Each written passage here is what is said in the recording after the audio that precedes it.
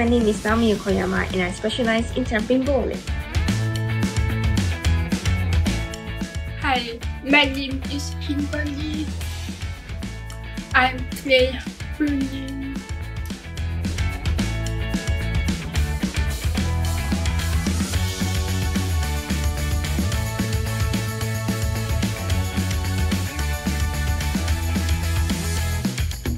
Hi! Have you seen me before? It's me again, Jia Yi. I play futsal.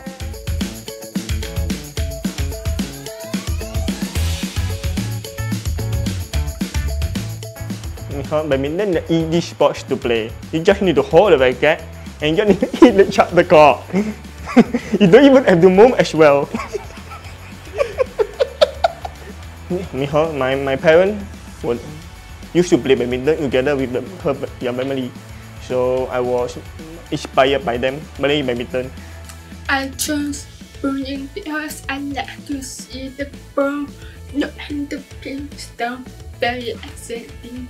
It's because that it's not just about taking the ball and throwing onto the lane, but it's all about understanding the lane, the line adjustment, and the ball equipment. So I felt like, okay, it's very interesting, and I felt like, oh, maybe I will take this sport. So that's why I'm still bowling, that's why I'm still enjoying, I'm, I'm still learning. So why did I choose to play futsal? Because um, I wanted to get fit and I found um, futsal very cool. And it also involves um, teamwork, which I like, and I could communicate with the other deaf players.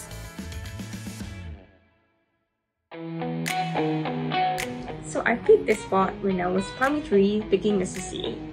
I felt like bowling is gonna be so fun, maybe um, play games and all that. I started to play competitive at the age of 13. During secondary one, I was selected into school team during the school show. I started bowling in primary five, so I played bowling for about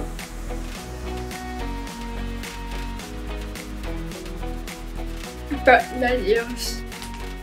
So um, someone was sick and I had to cover her and I played uh, very anyhow and when I found out that it was actually quite fun and I wanted to continue to play futsal with um, other deaf players from other countries.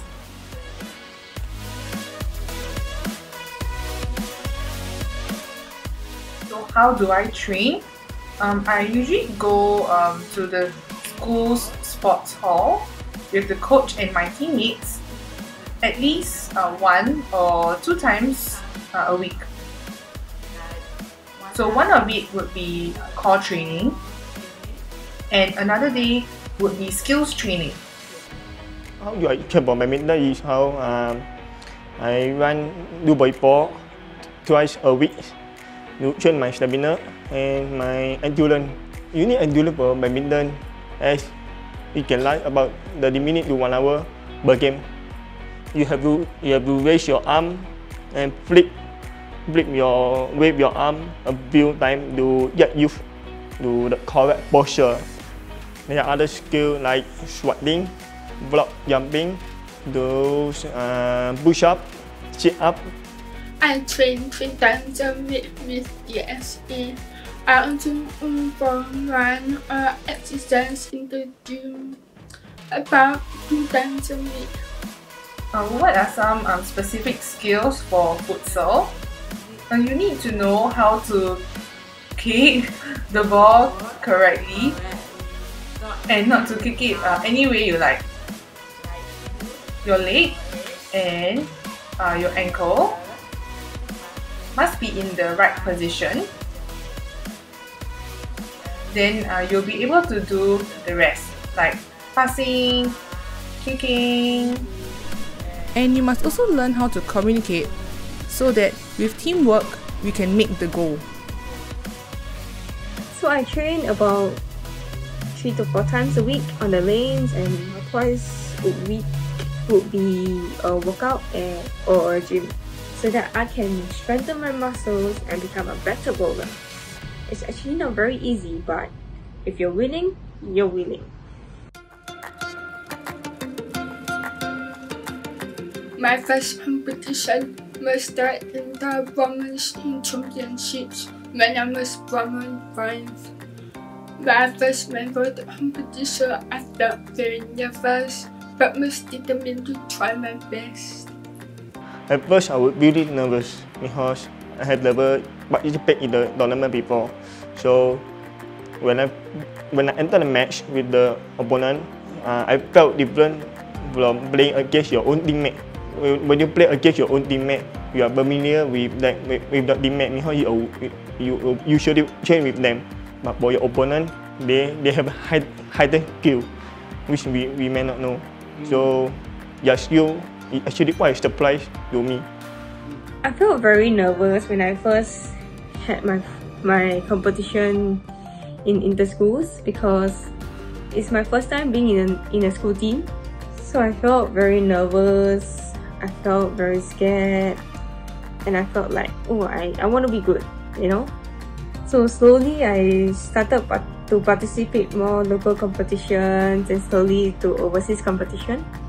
That's when I gained more experience, gained more knowledge, in a sense that um, knowing where my weaknesses is and and what are my strengths.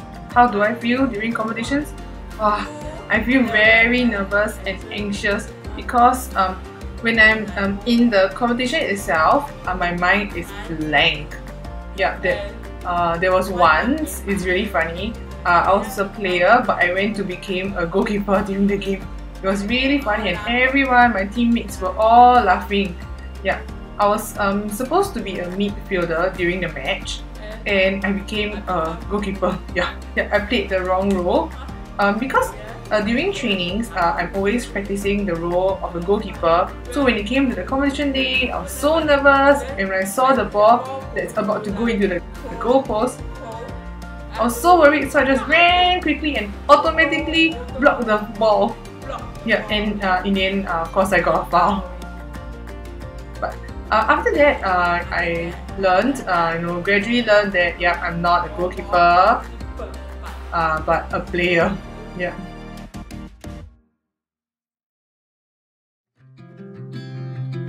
Running, everyone hate running, including myself.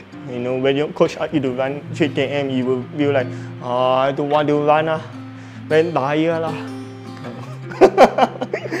it's definitely mainly my mental game.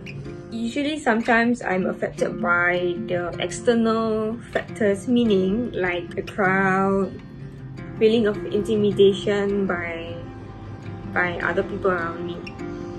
So sometimes I felt very small. So this is something that I have been facing.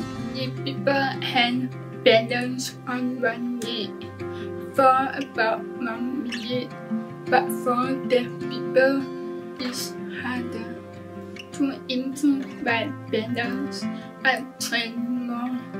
For example, I do more sit-ups. So you know when you're in a game, um, you have to take off your hearing aids. You have to remove your hearing aid. So uh, if the coach uh, calls your name, uh, it's very hard for me to react. You, you have to guess. You uh, follow your teammate, how they train. You follow your push step, look at how they train, how they move. Yeah. Balance is important in running because it helps me make my shots more accurate. I can show you how bad my balance is. First, balance on one leg like this. Let's close your eyes and balance the other. So whenever I really have, when I participate competitions, I have to calm down and I have to actually have fun. Meaning like I can still somewhat focus and have fun at the same time because I realized that I have to actually enjoy the presence in the competition. But if I'm in a very pressured environment, like example finals, that one is really, really, really, really stressful for me. So when that happens, I don't perform well. So this is something that I really need to work on my mental game in order to try to focus and calm myself down. Uh, another challenge is the communication uh, between the players because we always like to look down at the ball and uh, never look up. Yeah, so um, that's a problem. Yeah, so the coach always scolds us and tells us that we must must look up and not to keep looking at the ball all the time.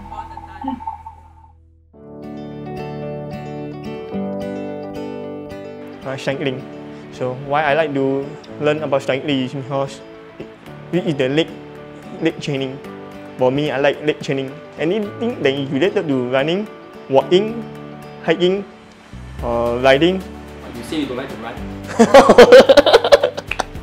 yeah, you're right. you like running? no, I don't like running. Last year, during the circuit breaker, I tried new sports for fun. For example, I tried badminton, softball, and I also tried cycling. Usually, I'm very interested in netball, uh, captain like so captain's ball and netball. It's somewhat similar in a way that like I love playing ball games. Maybe that's why I like bowling, huh? I've always wanted to learn netball actually, but wearing a cochlear implant is something that we have to be really careful about because it's a very expensive equipment and I just play ball games for fun now. Hmm. Um, I want to learn rollerblading and um, table tennis. Yeah, I feel that uh, rollerblading is really cool. And if you go to the park, it's um very convenient just to rollerblade. You know, you don't have to go to the trouble of finding a bicycle to rent. So when I rollerblade, I also can enjoy the wind. Mm, I want to learn table tennis because I've tried um, table tennis before and I find it very interesting. Uh, like uh, how the ball bounces and uh, where the ball can bounce to. So you must know like angles of how the ball moves. I like to see the ball bounce.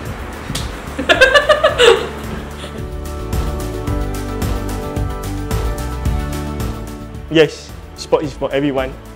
As long as they enjoy doing things that they want, sport is for everyone. Yes, sports is good for health and also good for making friends. I think that sports is definitely for everyone because we have para games, deaf games. Sports has been seen as an inclusive thing because um, there's no limit.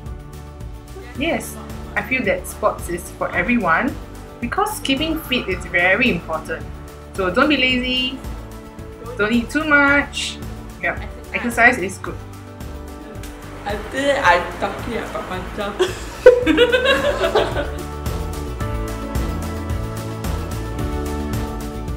I try not to miss training, but sometimes I miss training because of schoolwork. Uh, I will always try to come to I ever skip training to do something else, such as like taking a break, such as um, doing something relaxing. Because I'm a working adult now, so like I work in the day and I train at night, so it can be very tiring. So I felt like sometimes I really need to have a rest. When I come back to training, I will feel much better. I will feel much more motivated to train to be better. Yes, play computer games, sleeping, eating a lot. Yes, I love McDonald's.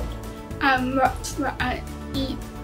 I eat a bit of fried and uh, oily food. I think a healthy food is best.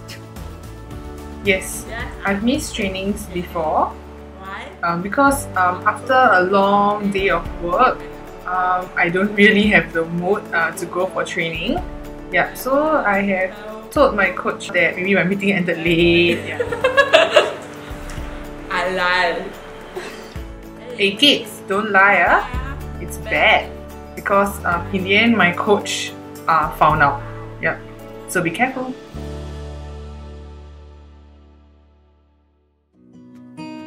First start with walking more.